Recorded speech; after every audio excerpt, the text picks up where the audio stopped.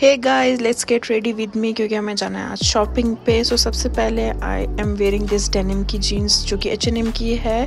फिर उसके बाद इसके साथ आई विल वेयर डेनिम की शर्ट और again from H and M these two are my favourites good to go so उसके ऊपर I will wear little black हिजाब का दिस डेनिम शेड का हिजाब so this was my final look hope you like the video bye